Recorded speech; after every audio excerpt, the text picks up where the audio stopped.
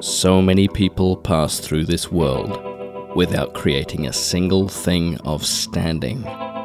Those who spend their lives shuffling paper in offices or blowing lukewarm air into telephones, they are all long forgotten within 50 years. More likely, less than that. When they die, it's all gone for good. A life spent pissing in the wind. So, what happens if you choose to waste your life this way? The most permanent mark you will leave behind is a grease spot on a chair.